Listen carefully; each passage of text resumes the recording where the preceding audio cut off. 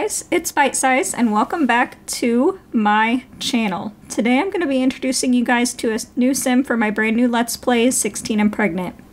I'm really excited to be bringing this series to my channel for you guys, but before we get further into it, I do want to make a quick disclaimer that in no way am I attempting to glorify teen pregnancy or offend anyone with that sort of content. I understand this is real life for so many people, and I would never want to make anybody uncomfortable. I just know other YouTubers that have done their own versions of this kind of thing, and I thought it would be really fun to put my own take on it. I really hope you all will enjoy it and that we can have fun with it together. I did decide that we're going to play out the series a little bit differently because we are not going to start off with Hannah already being pregnant. I thought it would be interesting to show you guys what her life was like leading up to the pregnancy and what her family dynamic was like beforehand and all that sort of thing. So this is Hannah Cardwell, and Hannah's going to be who we mainly focus on throughout the series. I had a lot of fun making her, so this is what the process looked like of me doing that. I kind of already had an idea in my head of what I wanted her to look like, so it didn't take me as long as the process would typically take, and she ended up coming out exactly like I pictured her, so I was super happy about that. But I figured we could dive into her backstory a little bit, and that way you all can get to know her and have a better idea for what I had in mind with the story and all of that. Hannah recently turned 16, and she just had her birthday over this past summer. She's an only child, and she lives with her mom Emily and her dad Mark. Emily is a journalist at Walrus Books, and Mark is an engineer at Obscure Logistics.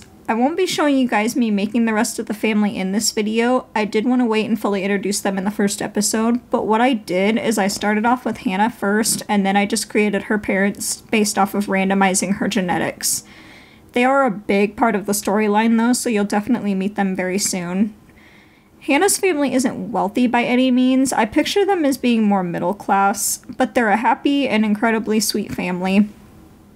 Hannah's always been close with both of her parents, and when she was younger, she spent a lot of time out fishing with her dad, and her mom enjoyed taking her to different parks and all that kind of thing. They also did family movie nights every Friday night, and occasionally they'd go on family picnics when the weather was nice. Every Sunday, they would go over to Emily's parents for lunch, so Hannah spent a lot of time with her grandparents too, and she would stay over there at their house quite a bit. The Cardwells also have a beautiful dog named Baxter, who is Hannah's best friend in the entire world, and he is a boxer Rottweiler mix. Hannah's a big dog lover, so she and Baxter spend lots of time together, and she enjoys taking him out for runs with her or playing with him at the dog park and stuff. She loves him so much, and because of Baxter, she actually wants to become a veterinarian. She really wants to move to Brindleton Bay and open up her own vet clinic eventually, so that's like a huge long term goal of hers that she has. She's also extremely social and really enjoys going out and partying with her friends, but she's still very career driven and she's been that way the majority of her life. She does well in school and she's always gotten really good grades because that's something her parents always made sure they instilled in her, and she's always been active in different after after school activities. Hannah grew up in Willow Creek, and that's where her grandparents currently still live. But over the summer, her dad ended up getting a promotion at work, and one of the conditions with him taking the new promotion was that it wasn't local.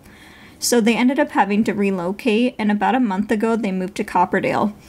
This was the first time in her life that Hannah had ever had to move, so she's understandably nervous to start at a new school, but she's excited for the fresh start.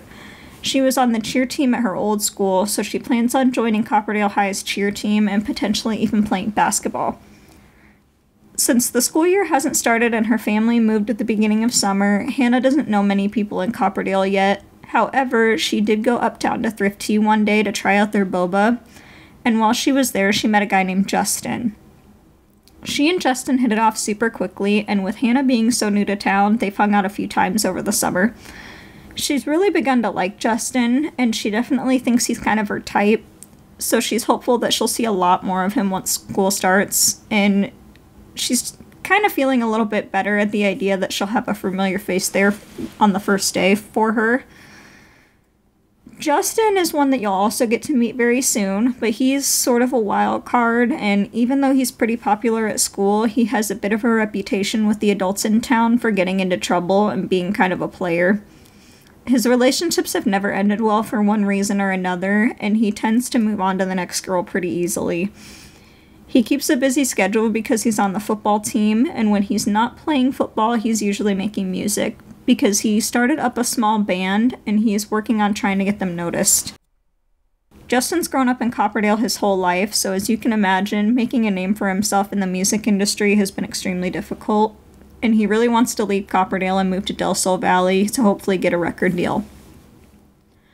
Of course, Hannah doesn't know about Justin's past, so time will tell if they're able to build a solid relationship or if the cycle will just repeat itself and leave Hannah blindsided and heartbroken.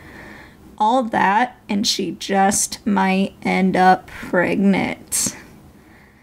Thank you guys so much for watching, and don't forget to hit the subscribe button so you don't miss out on any future videos. I can't wait to bring this series to the channel, and I hope you all tune in and are as excited about it as I am.